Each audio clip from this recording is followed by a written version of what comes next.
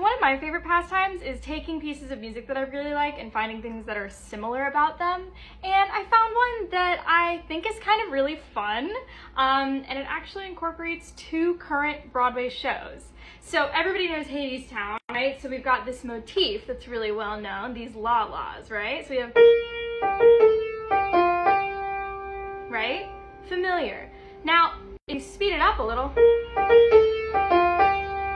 starting to sound a little bit like something else. And if you change the notes just a little, that's Back to the Future.